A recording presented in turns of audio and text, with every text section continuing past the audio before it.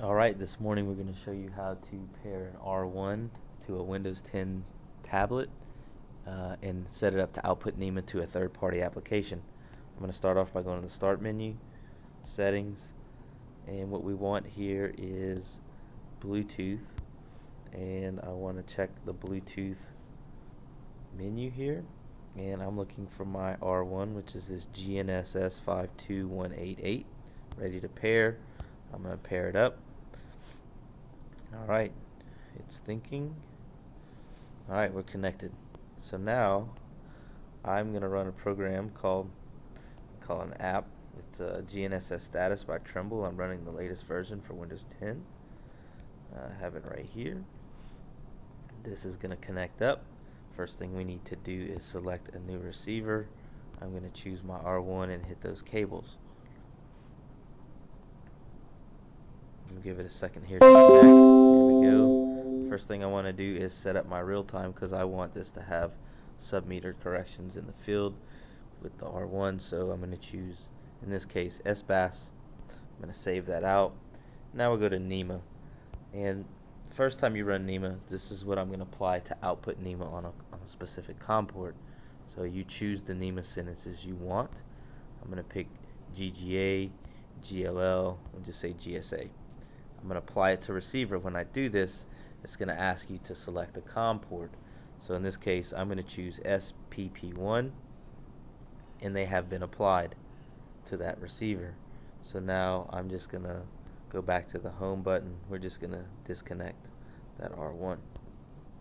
Okay, now this is the most important part.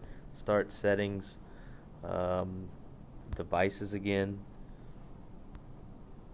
back to Bluetooth. If we scroll to the bottom on this Windows 10, they have more Bluetooth options. It comes up with this new tab here, Bluetooth settings.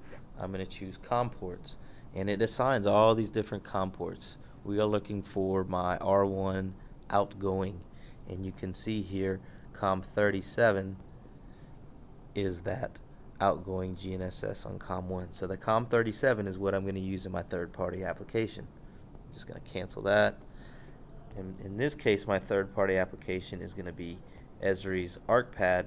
And the reason I'm using this is because they make it really easy to see the uh, NMEA sentences. It's kind of like a the old hyper-terminal software Microsoft used to have back in Windows XP.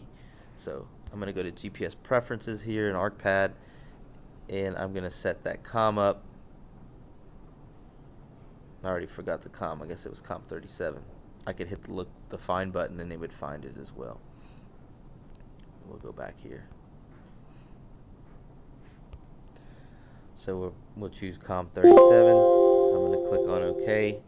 And now I'm going to use the GPS rangefinder debug. It's going to ask to activate. This will show up with a black screen anything in green means we're good and we're outputting. So there you can see my GGA, my GSA, and my GLL uh, NMEA sentences. So for me, this verifies that we are working, um, outputting NMEA via the R1 to a Windows 10 tablet. In this case, I'm running a Microsoft Surface Pro. So if I was running uh, any third-party application that required NMEA, this is how I would do it. Thank you.